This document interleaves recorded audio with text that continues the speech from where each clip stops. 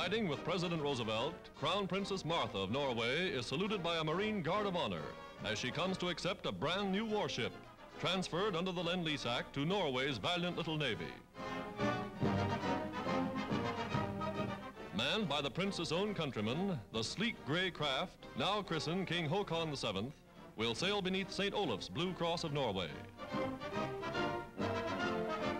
Princess Martha goes aboard to greet King Haakon's Viking crew, to wish them good hunting as they scour the seas for U-boats.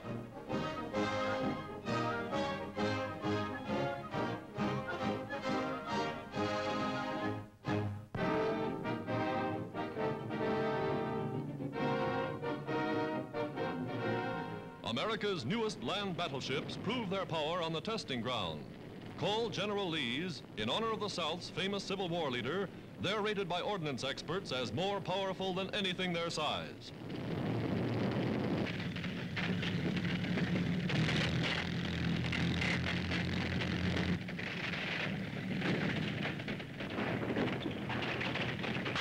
Capable of plunging through streams up to the driver's hatch, the all-welded monsters roll on like giant living amphibians. Production and performance figures are a military secret, but there are plenty more where these came from.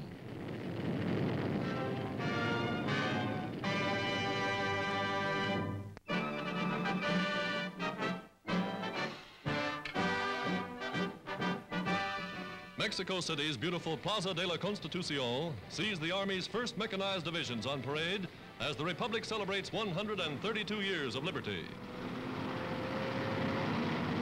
From the National Palace, President Camacho reviews the greatest military demonstration in Mexico's long and colorful history. Jeeps, tanks, big guns, modern troops in modern motors rolling to war as allies of the United Nations.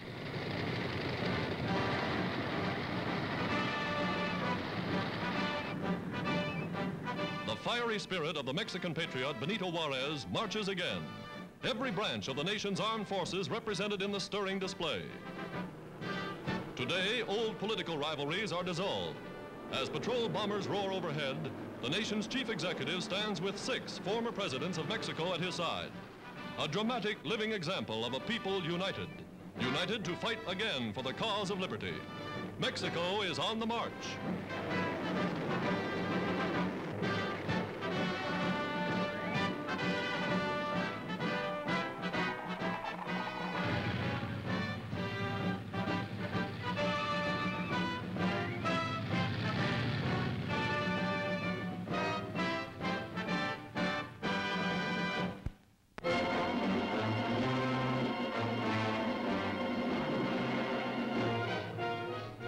American industry has met the challenge of war.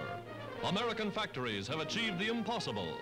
American mass production is delivering the goods. Going first to the great automobile assembly lines, capable of turning out 4 million trucks and passenger cars a year, United States engineers harnessed the skill, mobilized the resources of the most efficient manufacturing system in the world. Peacetime construction was halted. Overnight, tons of machinery and hundreds of plants were hauled away for the duration by workmen converting to war.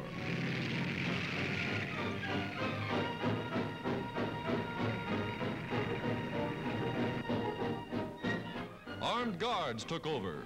The nation's key factories, already charted for just such an emergency, were equipped and made ready.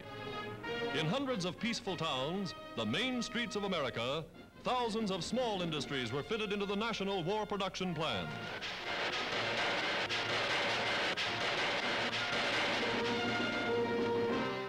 Performing manufacturing miracles. Workmen in Denver, Colorado, for example, make parts and fashion tools that may help build a battleship in a Navy yard a thousand miles away. Small stuff. The billions of bits and pieces. A hundred thousand different parts in a single flying fortress.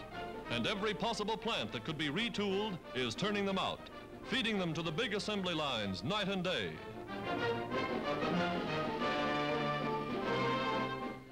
Sub-assemblies like these may be made in Chicago for airplanes finished in California. Motors and replacements for thousands upon thousands of planes a year. Where automobile fenders once were made, aircraft propellers are turned out by the thousands. Where watch cases and compacts once were made, now shell cases by the millions. Assembly lines of machine guns moving to war on the same conveyors that only yesterday carried American typewriters. Ladies' lipsticks surrender to war needs that small arms ammunition may be sped to the front. Only coordinated mass production can turn out anti-aircraft guns at the present staggering rate. And this is only the beginning. Only in plants like these could such a gigantic job of production be achieved overnight. This is industrial America at war. The arsenal of democracy delivering the goods.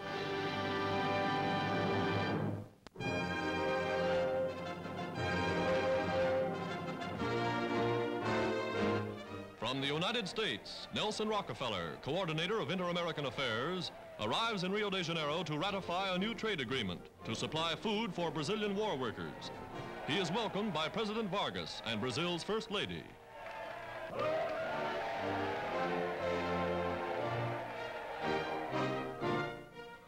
Here is America's good neighbor policy at work. The treaty ratified. Three and a half million dollars worth of food to be supplied by both nations to workers in Brazil's vital war industries.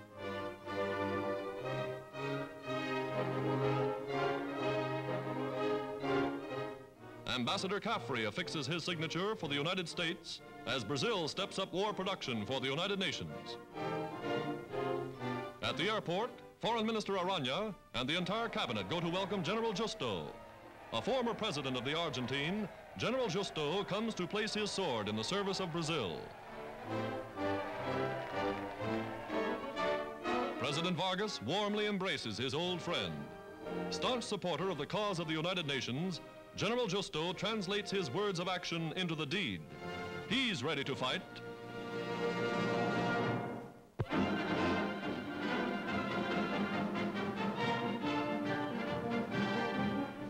American shock troops of the Airborne Command, parachutists and infantrymen, practice an assault upon an enemy airdrome. An authentic demonstration of the tactics of 20th century warfare. Carrying all of the equipment and personnel of a self-sustaining army, they move to the attack on wings.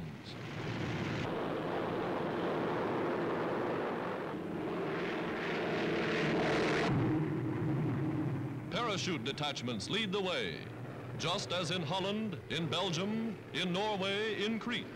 The element of surprise strikes the decisive blow. Their jobs to storm strategic objectives, cut communication lines, hold key positions until infantry arrives, and they land ready for instant action.